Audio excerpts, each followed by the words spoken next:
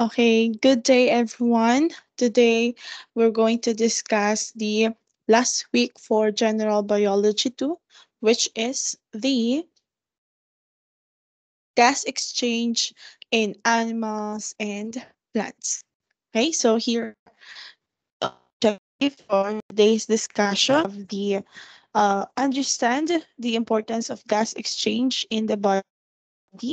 We're how gas exchange takes place in animals, and we're going to trace and describe the pathway in air in humans, explain how the stro- stroma or stomata carry out the gas exchange in plants, and uh, lastly, we're going to describe other plant structure used for the gas exchange. So here are the terminologies that you should be familiarized first we have the external respiration. External respiration is the exchange of gases between the atmosphere and the lungs. While the internal respiration, it means the gas exchange between the blood and the cells of our body. And lastly, we have the respiratory system. So this is the network of organ and tissue that help us proceed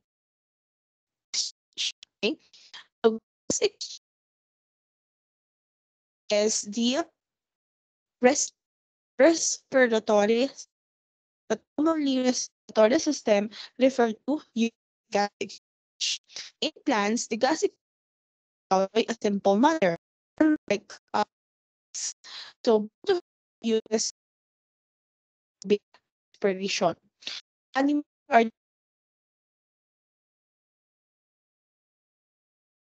the plants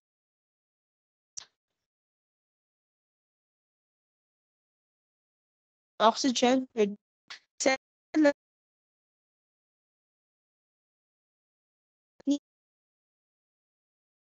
or their synthesis. Uh, in hand. Uh, end oxygen.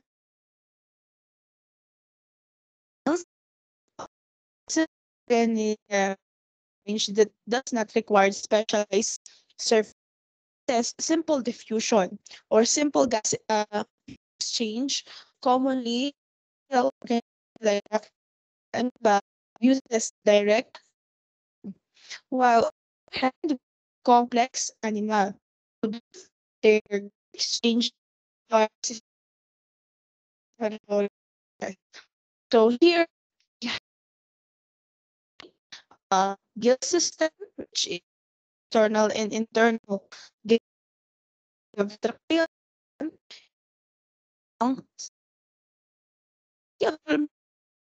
gas exchange in organism depends on the way on the relative complexity of the organism's body. Also,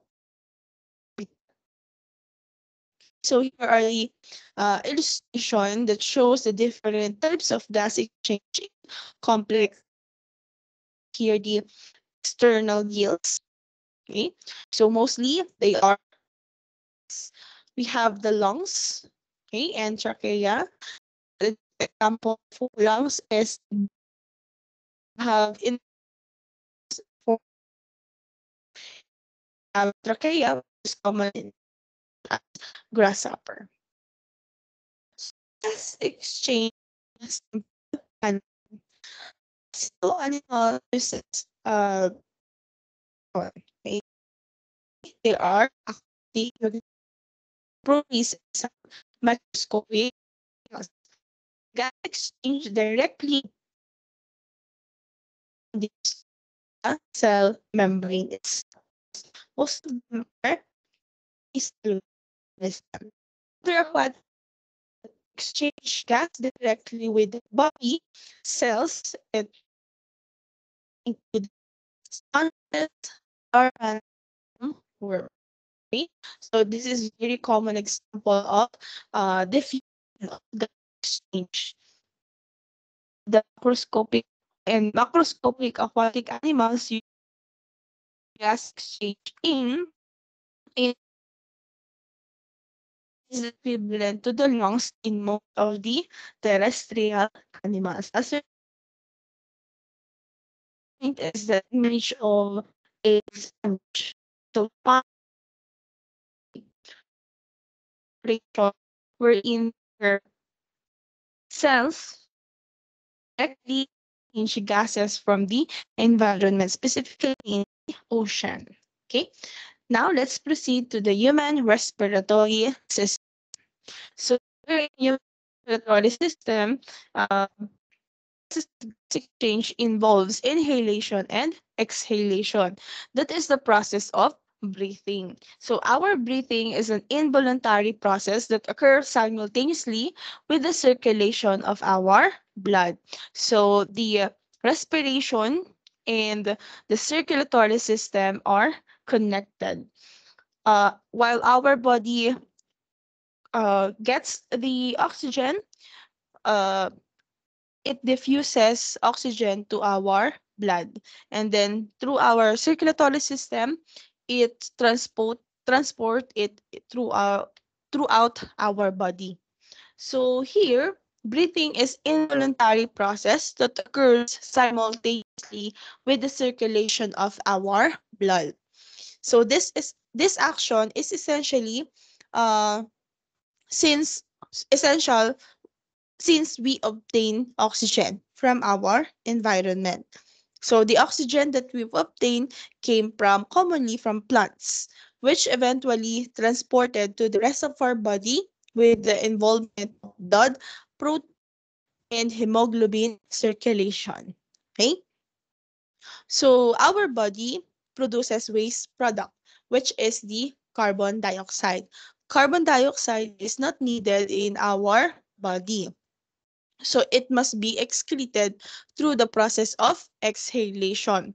Our blood will collect all of the carbon dioxide used in the cellular respiration and bring it back to our lungs to exhale. So this gaseous waste goes out uh, of the body involuntarily. Same with obtaining the oxygen.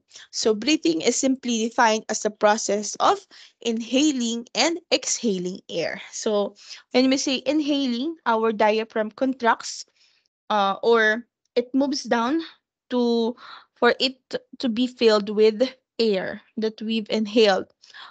Exhalation is described when the diaphragm relaxes. So it moves up uh, to exhale the air that we doesn't need or a waste product. So what is the mechanism of breathing? So breathing is, the action of, of in and out of gas due to the changes of pressure within our thorax compared to the outside environment. So the process of inhalation consists of five steps. First, the diaphragm moves down, forcing the air into the pathway. Second, the intercostal muscle contract that will cause to the enlargement of the cavity. And then the membrane moves with the contraction. Therefore, the surface tension in our alveoli and surfactant keep them from collapsing. Other muscles can force a deeper inhalation. So how about exhalation? Exhalation also consists of five steps. First, the diaphragm moves up, forcing uh, the air out, while the intercostal muscle relaxes, shrinking the cavity. Therefore, the membrane moves with the contraction, and the surface tension in the alveoli keep them from collapsing, while the other muscle can force deep, deeper exhalation. So the mechanism of breathing have a atmospheric pressure of 760 mmHg. So pressure is necessary for breathing, which is, which is why it is difficult to breathe in high altitude and also why a punctured lungs can be dangerous because uh, it can cause uh, death to any person who have a punctured lungs. So breathing and respiration. So what we've said, breathing that is the act of bringing air in and out of our lungs with uh, with specific pressure. Now, uh, we have this external mechanism process and internal mechanism. So the process of breathing is the external mechanism.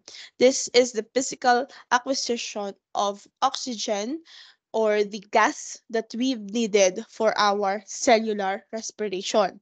So here, uh, in the alveoli, uh, where the acquisition of the internal chemical process for the cellular respiration. So breathing and respiration is two different things. So because here in cellular respiration, we need the oxygen itself. While breathing, we breathe in and breathe out gases. Okay.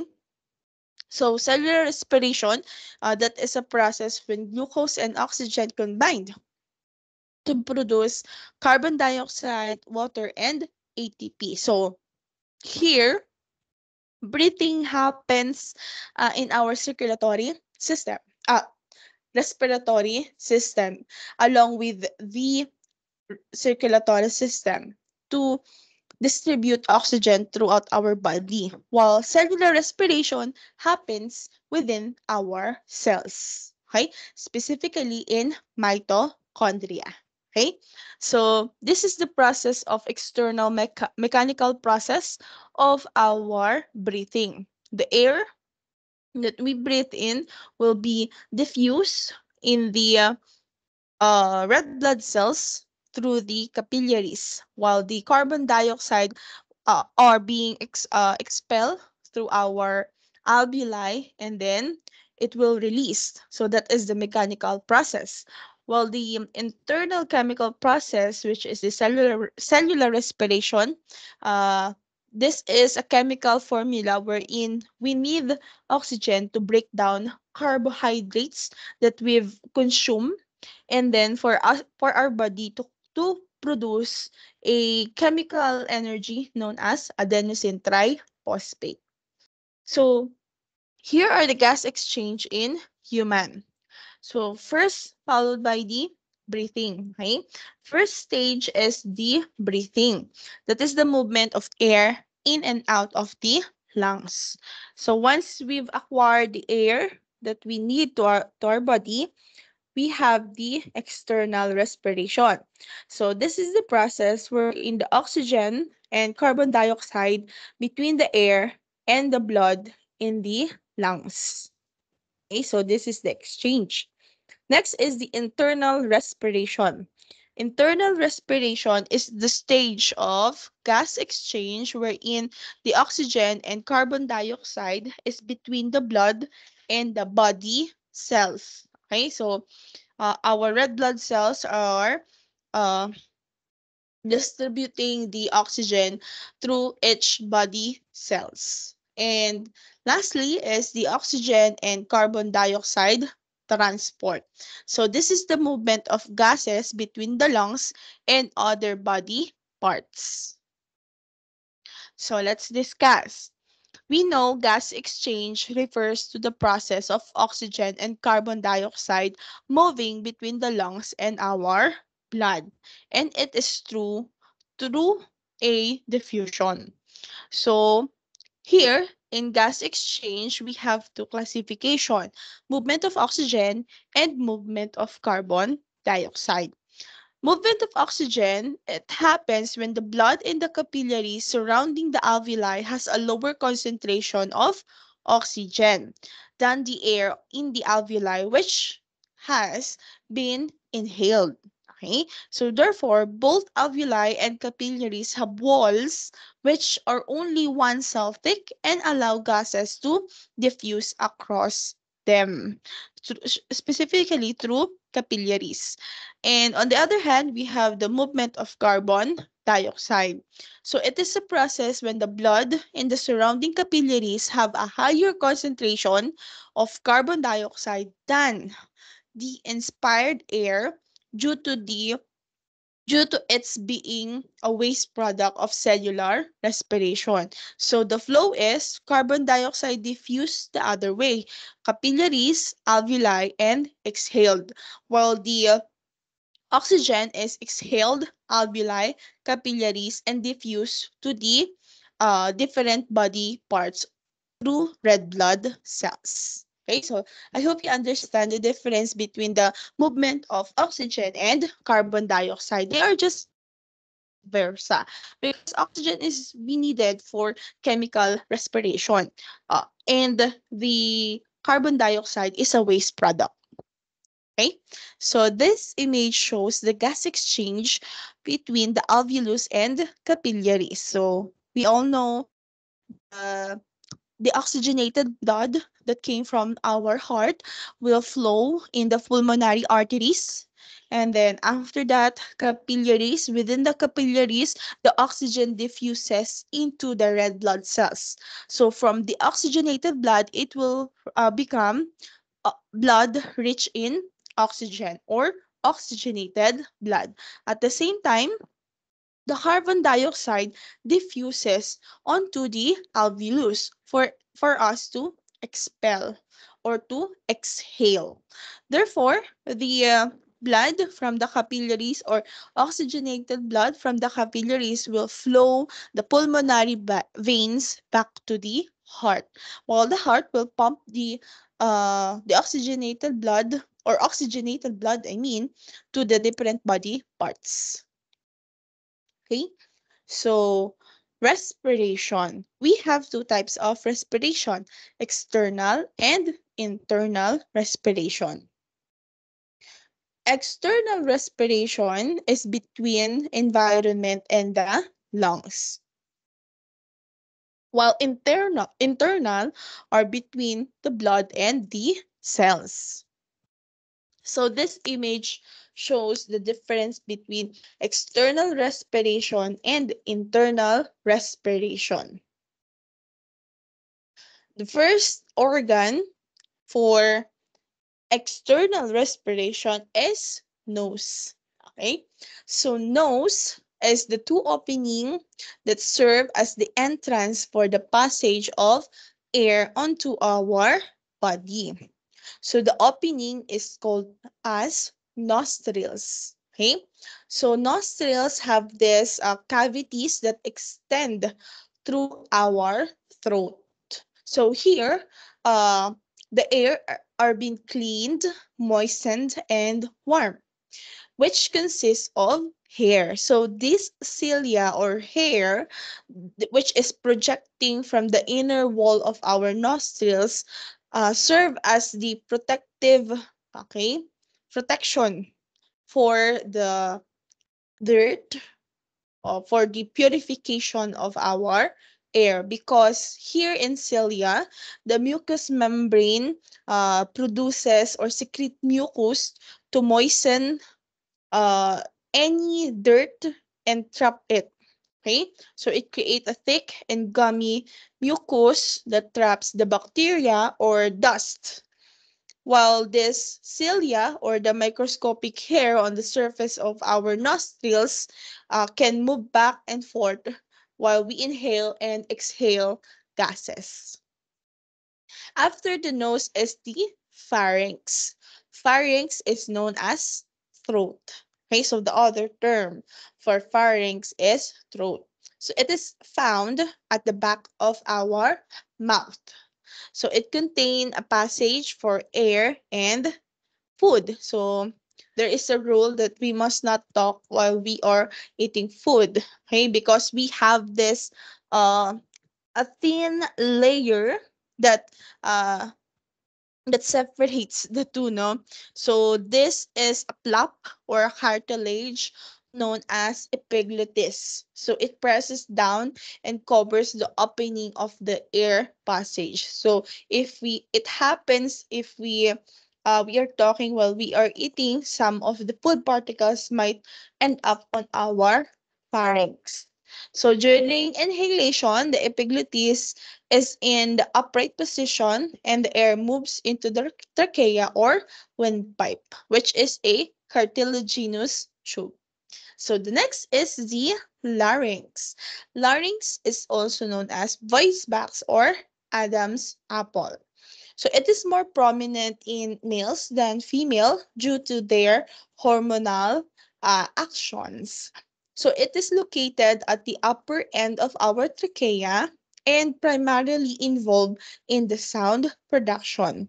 So that's why it is called voice box because this is where the sounds are being produced. So when air is forced for uh forced past two vocal cords that stretches across the larynx, the pitch and the volume of the sounds depends on the amount of tension. Okay? So the more tension, the more it is louder. The less tension, the is uh, lower yung voice. Okay? So the vocal cords, uh, the tension received by the vocal cords and the amount of air force onto them. Okay, so this is the anatomy of our larynx. Okay. Now, after the larynx, we have the windpipe or trachea.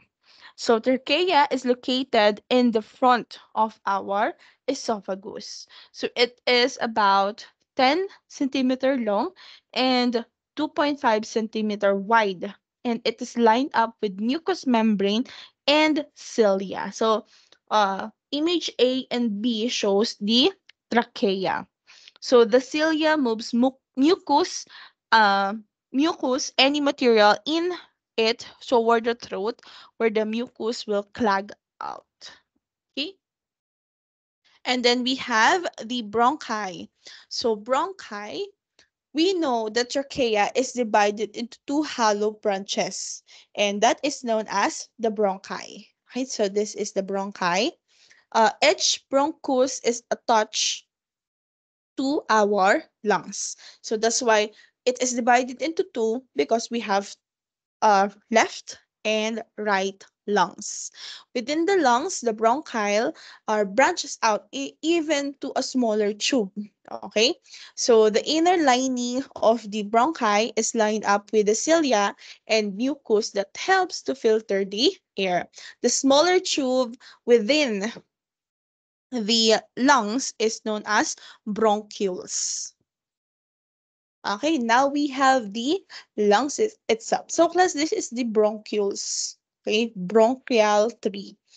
So the lungs are large, spongy, and elastic sacs, structures suspended from each side of our heart.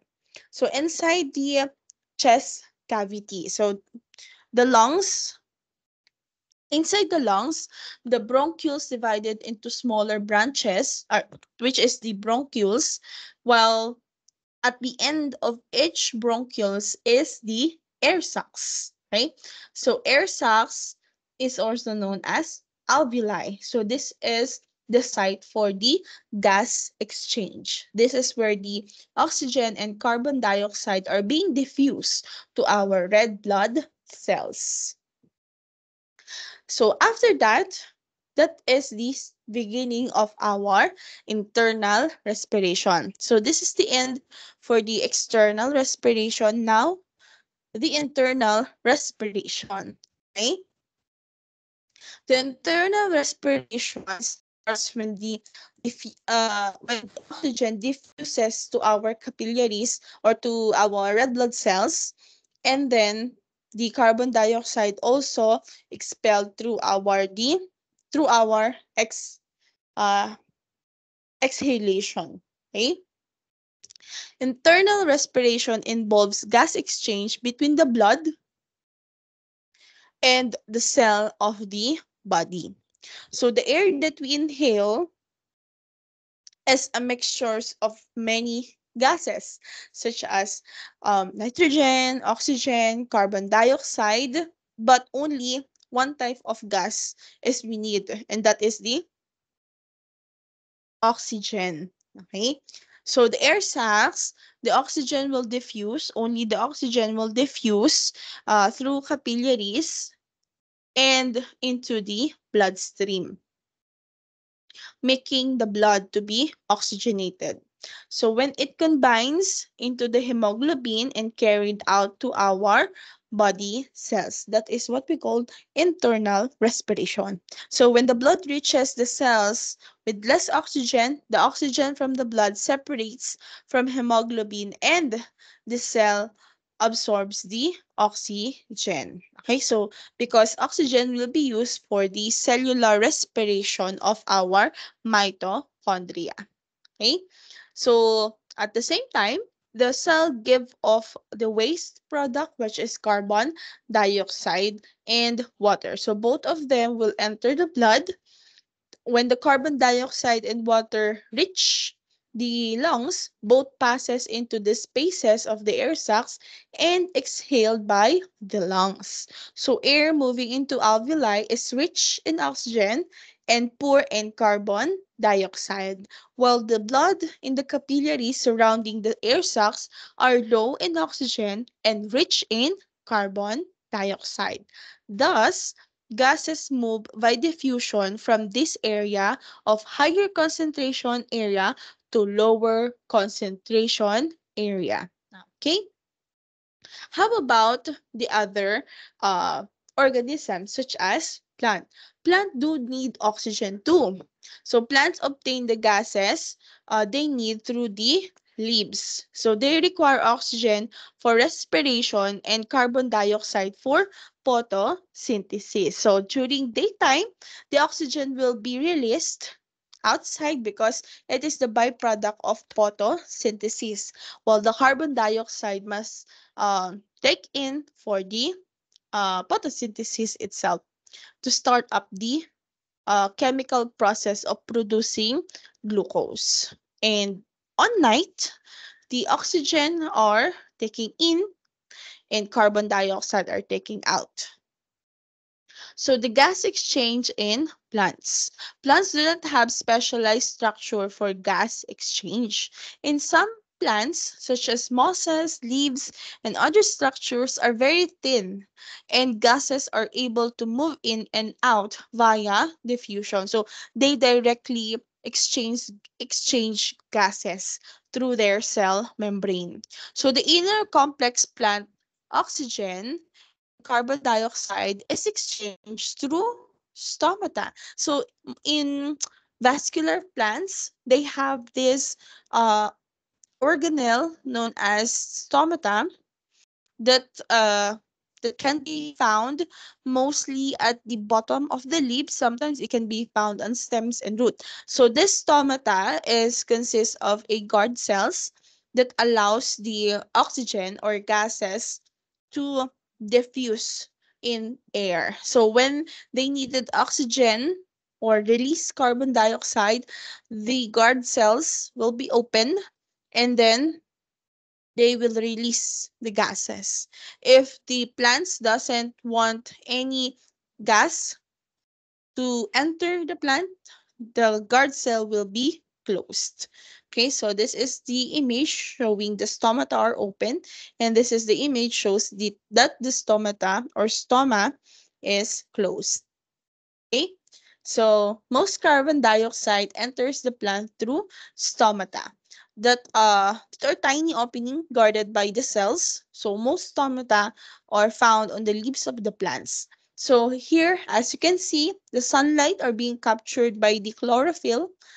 Okay, while the uh, carbon dioxide enters, okay, the stomata, and then oxygen exits. Okay, because carbon dioxide is the starting material for photosynthesis, while the oxygen is the byproduct of photosynthesis. Uh, the guard cells are the one that allows the gases uh, that travels in and out of the plant cells. Okay, so this is the part of our stomata. So that is the uh, number one is the nucleus of the stomata. Second is the chloroplast. Third is the vacuole. Fourth is the guard cell. And then four is the cell wall of our stomata. That is number five, cell wall of our stomata. So here, the gas exchange happens to be involved in the turgor pressure of the plants. Remember, turgor pressure is also called as turgidity. So it is the main pressure of the cell contents against the cell wall in the plant cell. So turgid plant cell contain more water than flaccid cell and exert a greater pressure on its wall. Therefore, the turgor pressure forces a force exerted outward on the plant cell wall by the water contained in the cell. These forces gives the plant rigidity and may help to keep it erect okay, or uh, turgid. Turgor can result into bursting of a cell, but if it is uh, maintained, uh, it cannot be burst. So plants have water in their cell vacuole, therefore the water pushes like a force, okay, on the cell membrane and the cell wall, creating a type of pressure which makes the cell stiff. If there is no pressure, the uh, plant will become flaccid. That's why uh, it is also important for the plant to have enough or proper pressure.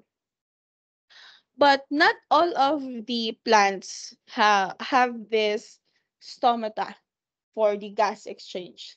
Some of them develop this adaptive roots for the for their uh, adaptation in their environment. One of them is the aeration roots used for the gas exchange.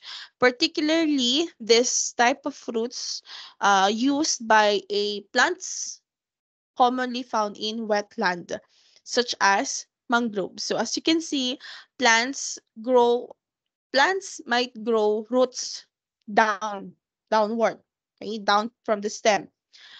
But some of them created a prop roots or uh, adventitious roots or sometimes these are look like a knobs or spike sticking up from the soil. So it is not common for a plant to stick up okay? Sticking up from the soil yung roots nila. So this is just one of the adaptive characteristic of some plants which happily observed in some mangrove plants. Okay, so that is the end for the gas exchange in plants. Okay, so for summary, okay, so for summary, gas exchange happens in plants and animals. Okay, so commonly in animals, uh, it is known as respiratory system. But not all of the animals have this respiratory organ. Uh, we have the simple and complex organism. Under complex organism, we have the gill system, tracheal system, and lung system. Okay, so these are the example. And this shows the simple diffusion of gas exchange of a sponges or simple aquatic animals. In human respiratory system, we uses lungs and other organs. Okay, so we have inhalation, that is the breathing, and exhalation to, to exert waste product. So here are the mechanism of our breathing, inhalation and exhalation. Okay, so breathing is known as external mechanical process, while the cellular respiration is internal mechanical process. Okay, so this shows the exchange of gases between alveolus and our capillaries. Okay, our respiration, our respiration consists of two types, external and internal. Okay, so here are the organs involved in our uh, respiratory system. Nose, pharynx, larynx, trachea, bronchi, lungs, bronchioles, and the alveoli. So this is the start for internal respiration. Okay? And for the plants. Okay, so that's it. I hope you learned something for uh from our recorded video and have a good day.